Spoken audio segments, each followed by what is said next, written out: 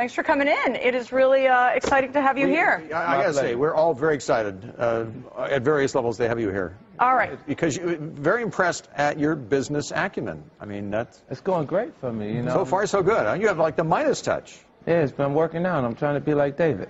We're gonna we're gonna get to your uh, your book here in a second because that's why we've got you on. But within Wall Street, legendary is the deal you did with Vitamin Water. You were an original investor. Then. Coca-Cola bought it, and it's reported that you made you personally after taxes a hundred million dollars. Yeah, it's an exciting deal. I mean, the opportunity to get in in the infant stages of that company was amazing for me. So it's probably one of the biggest. It is the biggest deal.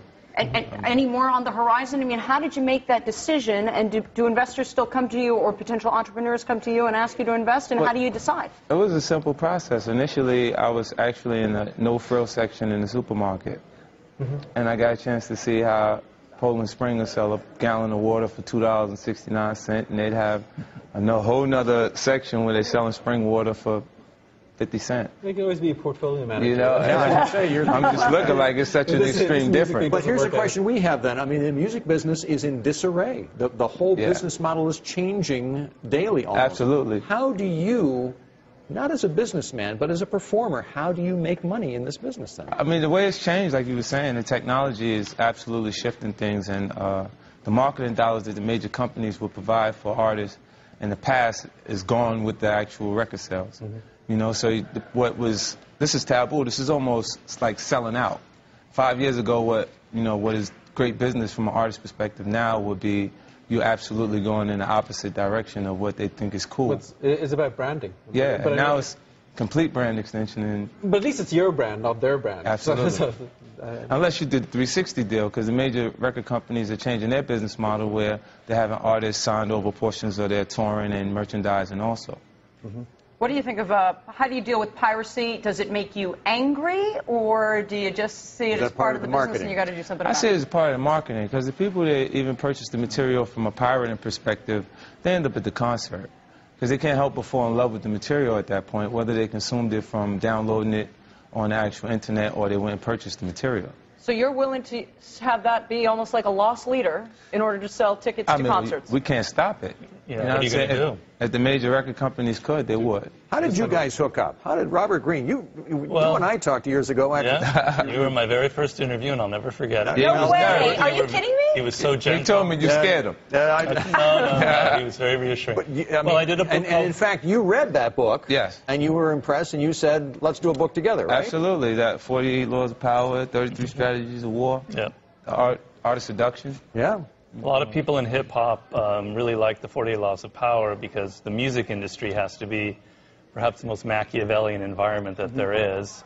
And they found the advice very helpful. So 50, he contacted me. And we thought it'd be really interesting to do a book together because we come from such different backgrounds, but we have a sort of a similar way of thinking.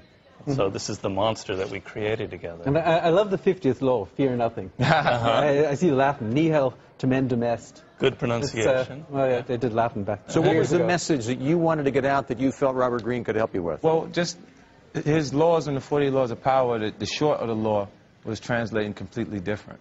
Like people who didn't actually see the significance in the research just read the short mm-hmm. and, and said, okay, I understand how this applies to the actual environment. And they, they took that on. Like they, a lot of people that would make reference to Robert's first book would just make reference to the small portion of the actual law. And then it was exciting to see that I had some of the, uh, like I thought like some of these great people. You know, so to get a chance to collaborate with them and just to tell them my, my other thoughts and some of my experiences and, and have them write it from those perspectives after researching these other people, I thought it would be, you know, great. So, who's going to read this book? People who listen to your music, or people who read your books? Hopefully both. Both. we want both. We want everyone. And the people I mean- who haven't had an opportunity to read his books, we want to make it bigger than life. Mm-hmm. I mean, we're living through times where people are kind of are very frightened. You know, they're very scared.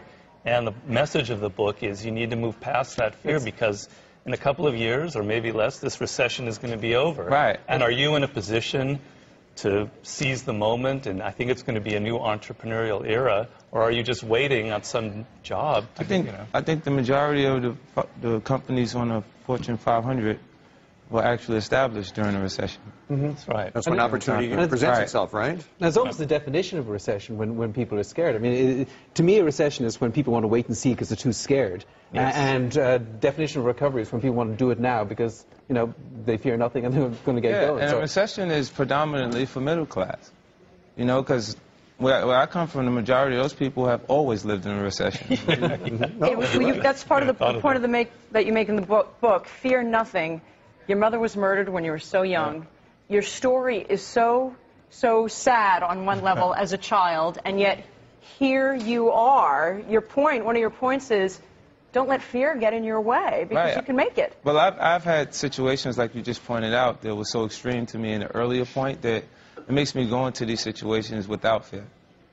You know, because I've already You've been there. experienced the Yeah. worst por- possible What- what else would you scenarios. lose? Yeah. And a lot of people think that the, his lack of fear is just the aggression and all that. But you- when you were talking about the video piracy and all that, he's really open to change and anything that's going on in the world. He just sort of embraces it and moves with it, which to me is sort of the epitome of being fearless. You know what I'm also struck by? We talked about this in our production meeting this morning. Back in the day, the, the, when the Rolling Stones, for example, to use them as, a, as an example, were coming up, you know, they were the rebels, they were the mavericks. As you would portray yourself, that would be your brand as well. But they really shunned business per se. That would be selling out to be to be involved in business. Your generation of, of music uh, uh, performers really embraced business, don't Yeah, you? Yeah, absolutely. I think, well, it is a significance to having the ability to be a part of these actually pro- these projects. It's the interest that you generate through the popularity in music will allow you, you know,